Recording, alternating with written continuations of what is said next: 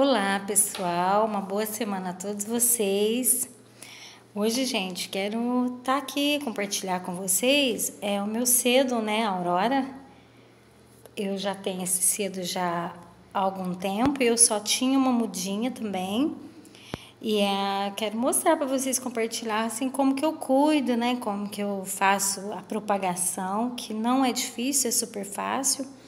Aqui, gente, nessa vasilhinha, eu coloquei a Calanchoy luciae aqui, né? Aí eu coloquei, olha como ficou bonitinho. Eu coloquei a Crassula Campfire aqui.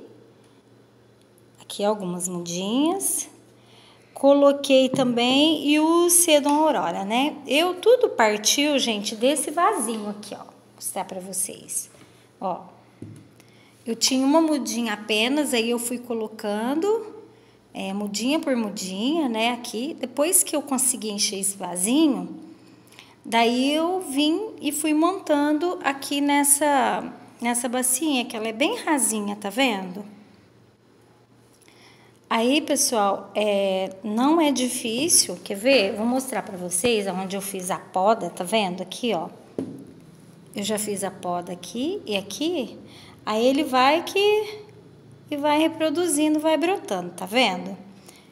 Gente, tem uma aranha pequenininha que eu tenho medo, tá bem aqui assim, ó. Deixa eu jogar ela no chão aqui, depois eu, eu pego ela. Aí eu vou mostrar pra vocês, ó.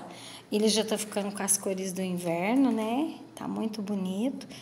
Gente, essa planta você pode regar umas duas vezes na semana, depende tanto, né, da região onde a gente mora. Mas é muito fácil cuidar dessa plantinha, ela não é difícil. Aí, pessoal, olha como que eu fui enchendo aqui, porque tudo partiu de uma mudinha, eu coloquei uma mudinha pequenininha. Aí vocês estão vendo aqui, ó, quer ver aonde eu fiz a poda? Aqui, ó, tá vendo? Aqui, ó, onde eu fiz a poda, bem aqui pequenininho, ó, já tá brotando.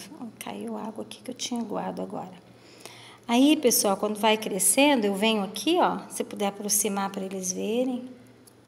Aqui, ó, eu faço o cortezinho aqui, né, ó. Aí eu venho aqui e já coloco assim, não é difícil. Aí, tá vendo? Aí você vai preenchendo todos os espaços e daqui já vai propagando e brotando. É muito facinho.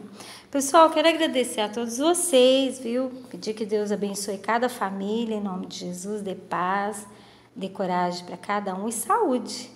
Muito obrigada a todos vocês. Até o nosso próximo vídeo. Tchau, pessoal!